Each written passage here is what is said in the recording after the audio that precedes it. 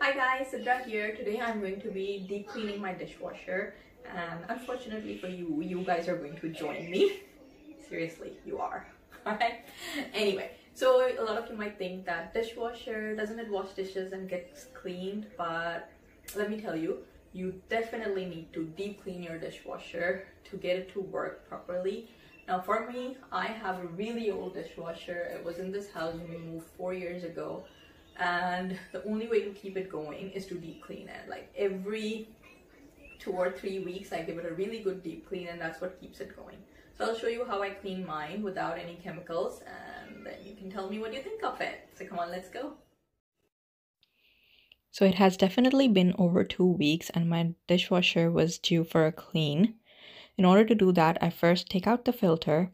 You need to read the instructions on your dishwasher manual to figure out what works for you I soak it in hot water and some dishwashing liquid and leave it there.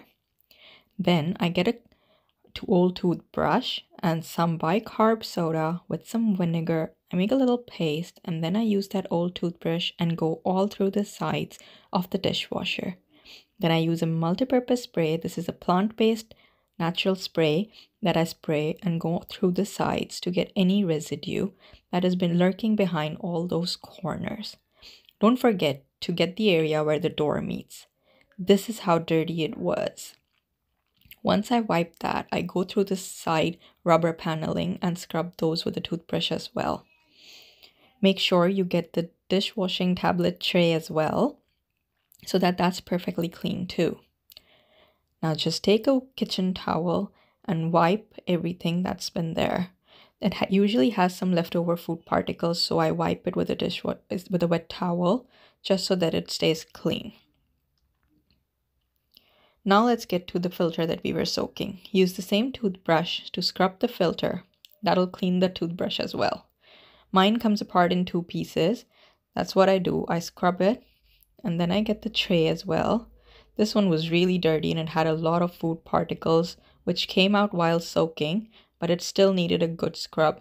So I just got in there with my toothbrush and cleaned it as much as I could. Don't forget the back side. That also needs a good clean.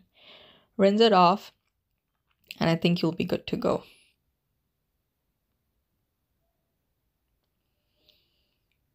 Now once that is done, I'll put my tray back and the filter.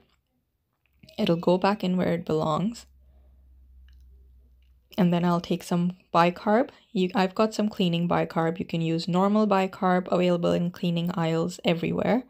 And then I've got some normal white vinegar that I pour over.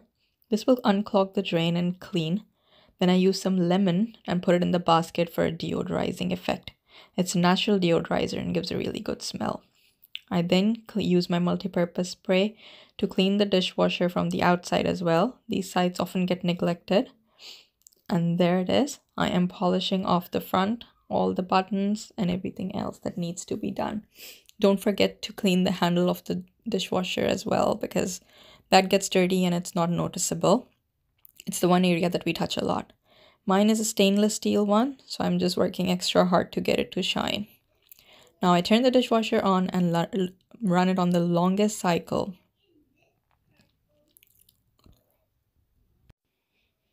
My dishwasher has switched off now. I ran it on the longest cycle.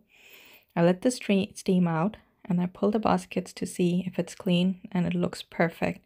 And believe it or not, I get a slight hint of that lemon deodorizing smell in there as well.